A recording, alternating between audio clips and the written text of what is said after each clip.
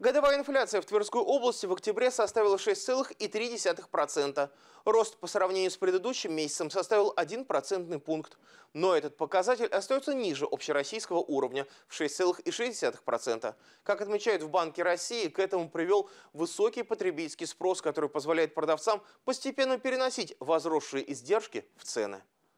В инфляцию в нашем регионе основной вклад внесли цены на легковые автомобили и мясопродукты. В последнем случае производители и переработчики уверяют, что из-за постепенного исчерпания запасов их издержки продолжали увеличиваться. Дорожали импортные препараты, кормовые добавки и оборудование. Влияние на цены оказала и неблагоприятная эпизоотическая ситуация в отдельных регионах-поставщиках.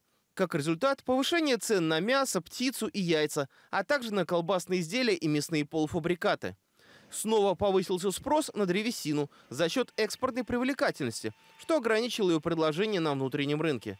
При этом выросли затраты на импортные материалы и фурнитуру для производства мебели, что сыграло свою роль в ценах на нее. В сфере услуг годовой прирост цен снизился до 10,5% после 11,1% в сентябре. Преимущественно это было связано с укреплением рубля в минувшем месяце и с расширением авиасообщения в сфере зарубежного туризма, сообщает пресс-служба регионального отделения Центробанка.